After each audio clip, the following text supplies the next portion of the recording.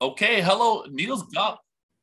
Hello. Uh, so your documentary images of a nordic drama focuses on the art scene surrounding axel uh, waldemar johansson and i'm sure i screwed up that name uh, so let's start off with talking about the importance of this painter in your mind yeah i, I think it's important in my mind because he's showing up the, the side of norway uh, that we don't see that we want to sorry that we want to hide uh, and we are not very proud of the uh, that side because it's about poverty, it's about you know prostitutes, uh, drunks, you know the culture that we want to hide and we don't want to present outside Norway. We know it's there, but we don't want to uh, to present it.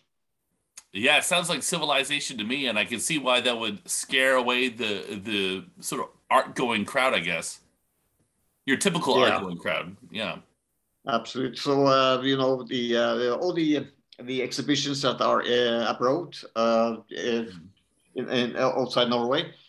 They are sponsored by like the oil companies and uh, the richest mm. people that we have, and they will choose the paintings and they choose the nicest paintings, the you know the scenery, fjords, the nice part of Norway.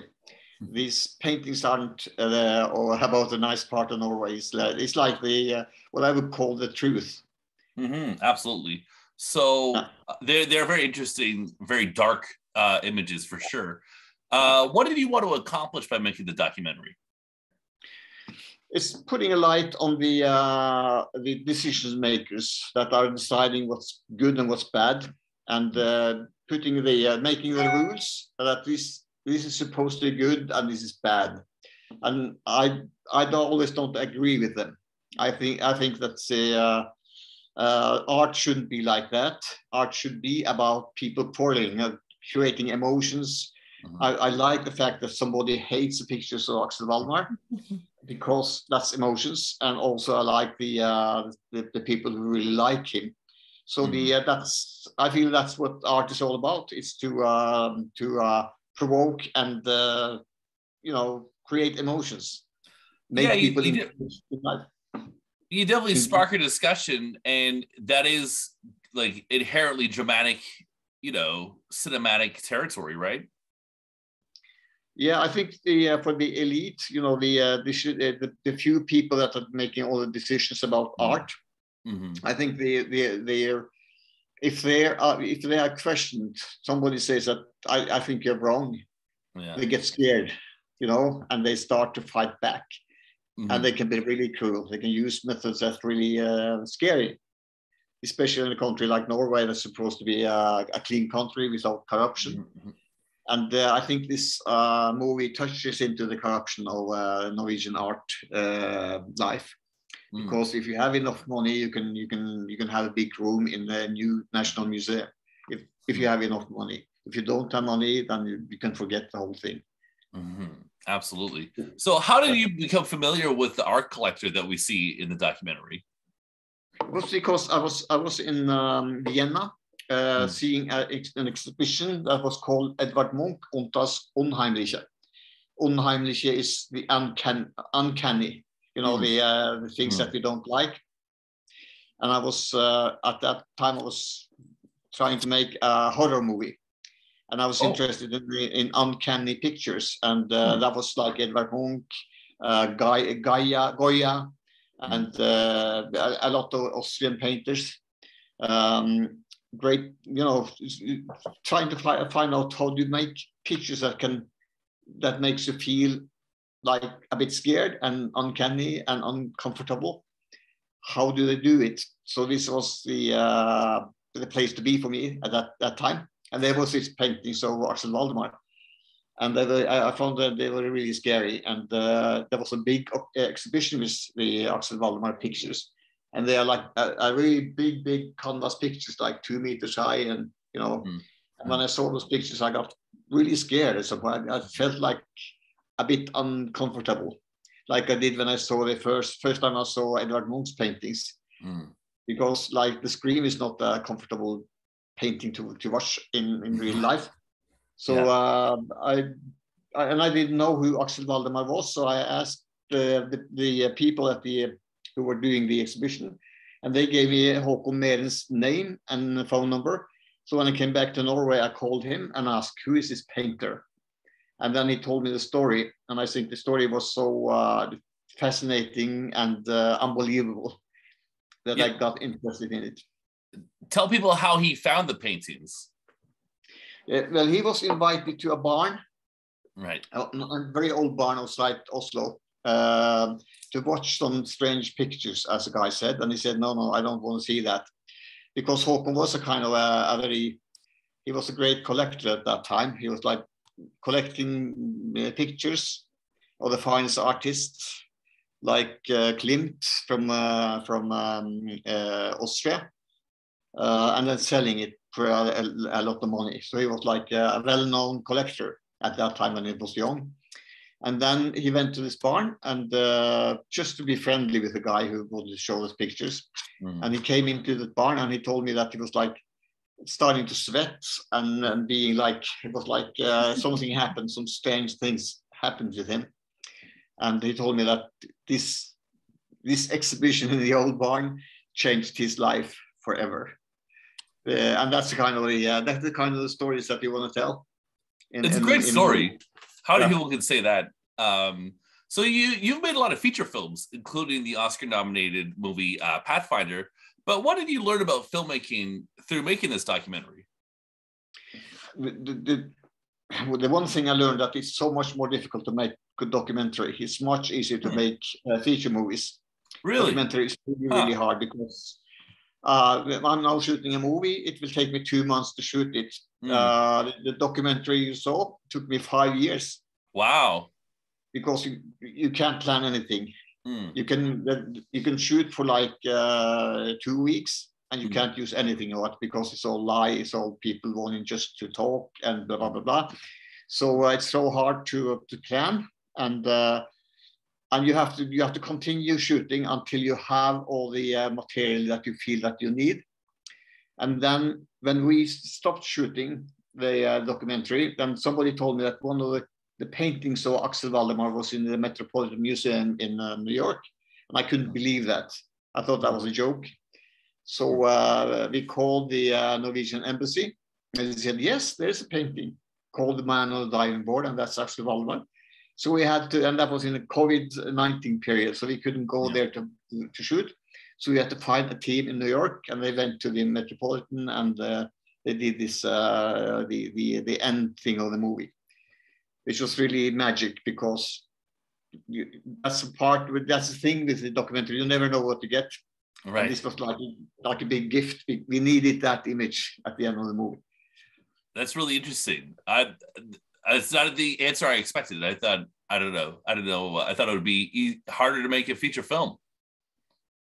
oh you can you can plan everything it's all in the planning you, It's I mean, you can, planning. you can you can plan all you can buy the uh, you know stuff that you need you can get the actors that you want True. so you can plan the whole thing and, and movie making isn't a planning Okay. Huh. All right. So would you make another documentary in the future based on this experience? We- Well, I have to see how it is, uh, how it ends, how the show ends in Hot Docs, if everything goes well. Yeah. Um, I will, of course, uh, uh, play, I will, yeah, if, if people like the movie, then I, Yeah, I- okay. I would like to do an, another movie. Cool. Okay. Okay. Well, uh, good luck with that. Uh, so th- there's a lot of harsh disagreement with people over uh, the, uh, Axel's merit in this documentary. Why do you why do you think people are get so uh, charged or, or or or triggered with when someone disagrees with their take on art? Um, I, I, I don't know why, but uh, I think that's the uh, that was the thing that I like with the uh, the situation because it was so much emotions there. It was like Mm. somebody really hates the, the the the paintings and want them to uh, end up in the garbage, Mhm. and while other people like say that this is a genius work, it's so important part of Norwegian history and heritage, blah blah blah blah. You know this the the, emotions Mm, which uh, which are there, have been there for 30 years mhm. uh, and still going on, uh, which I think is part of the um, the art. Art should do that. Mm. Art should evoke emotions, not only good but also bad emotions. So like, I think that's the uh, that's that's what art should do. Yeah, I guess that's that's how, how you know you have something. Maybe like if you invoke passion. Yeah. Yeah. Yeah. If someone just lukewarm about it, eh, probably sucks. Yeah. Yeah. So yeah, if you had, if you had found some pictures that nobody cares about, Yeah, uh, then there's no movie, there's no uh, story.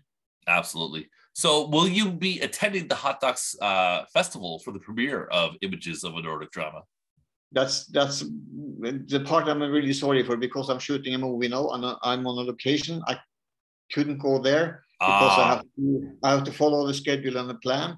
oh, I asked bad. them to give me one day so I can get there, but no. Mhm. But the producer will be there. Oh, okay. Yeah. Oh, that's so too, I too bad though. Have you? You've? I'm sure you've been to TIFF uh, uh, throughout your career. pardon? Have you been to to the Toronto International Film Festival before? No, I uh, no, I haven't been there. I, I I shot the movie in Canada, uh, and I had the movie in the there were two festivals uh, at that time. It was Toronto, and then wa- there was another. One World Film. Was it One World? Yeah, I can't remember that. That was a big, nice city and a very nice uh, uh, film festival. I was there, and that was a great uh, experience for me. So I would love to be there uh, at Hot Docs, of course. Yeah, yeah, yeah. and see how people react and see reactions, which is a good thing to sit in a, in in a, in a movie theater and, and watch movies with the audience. What's it like as a director generally at a film festival? To be a director in a film festival, Yeah, what's it like to have your your your your projects play at a film festival? What's that like? That's just very important. That's you know Mm. uh, everybody likes to be in a, in a, in a film festival Mhm. because you can experience uh, the meeting between the audience and the, and your movie. Mhm. It's uh, it's the best place to be, uh, and you learn so much about that because because you can see how the uh, people react, the audience react to the movie. You can you can maybe meet somebody in the bar and uh, Right, talk right. about the movie, which uh, which is important. Okay, okay. So when you're in an art gallery and you're looking at, at paintings by someone like Axel or or anyone, let's just say, uh, anyone worthwhile, how long will you examine the piece? No, I'm a, I'm a quick one there. I see uh, I can see a lot of uh, paintings, and I can stop with one paintings. Yeah, yeah, yeah. and be- be really interested in the, in the, in the painting and uh, and then start wonder why this painting uh, made me stop and then we'll go and look at the, the colors and the uh, painting style then i can use a lot of time but Mhm. for the most pictures i will just have a glimpse and then yeah, i will just you know You'll breeze through. Okay. yeah yeah Eh, do you storyboard your uh your films? yeah i do Yeah. Uh and how elaborate are the sketches? It's, it's most when i started out with pathfinder i did uh, images for all, all these uh, setups that we had Wow. even colors and even the style Wow. Uh, now uh, I just do the um, storyboards for action scenes. You know, scenes that Mhm. involve uh, stunt and um, dangerous and difficult things. Mhm. Uh, other than that, if, if it's just dialogue, I don't storyboard. And do you suggest people do, like go the Akira Kurosawa route and like paints everything like he did for Ran, or do you think just simple sketches work, or what? What, what are your thoughts? A, a little bit. Uh, if you make with a, if if you're working with a theme, the Mm. theme of the movie, then you will go and and, and try to, to use colors, uh, costumes, uh, the look, the uh, the facial uh, looks, and and those kind of things, because it's the the theme is what the movie is all about. So I would go and do almost like a painting there. Hmm. Uh, to have the uh, the feel and the image and the style of the whole movie but for uh, the rest, I wouldn't be. I wouldn't use even use colors. When I do um, sketches of uh, action scenes, I wouldn't. I, I don't use colors. It's uh, it's just like very very fast uh, drawings. Got it. As as an artist yourself who paints with the camera, do you miss using film? Uh, if I do, do I uh, miss museum? Do you no no? Do you miss using film like film stock as as an artist yourself? Yeah, I, I think film is is an art, a piece of art, because it's something that we've been struggling and trying to um, to to give an impression of the time we are living in. Yeah, yeah, yeah. Uh, yeah. So it's it's like for me, uh, a movie is like uh, yeah, it's like art. No, I that's that's beautiful. But what I meant is like, do you miss using like 35, 16 millimeter versus shooting digitally? Oh yeah, yeah. No, I, I usually now we should shoot digitally, but uh, for like uh, I I, I worked with uh, this film 35 uh, millimeter until Mhm. 2008. That was the Oh. last time we shot a movie on um, on on film. It's more expensive for sure. Yeah, it's more expensive, but it's so much nicer. It's so much nicer. Yeah. Absolutely. Yeah.